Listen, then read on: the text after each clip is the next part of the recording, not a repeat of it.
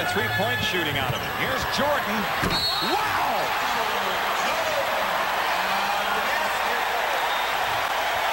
Everyone in this arena fell back in their seat. You did, I did. The whole scores table fell back in their seat. When he decides to elevate his game, he says, get out of my way. Oh, my Lord. Rony Seikaly on the foul. Jordan's got 23. Sometimes a player just has to take his entire team on his own talented, broad shoulders. Look at this finish by Michael.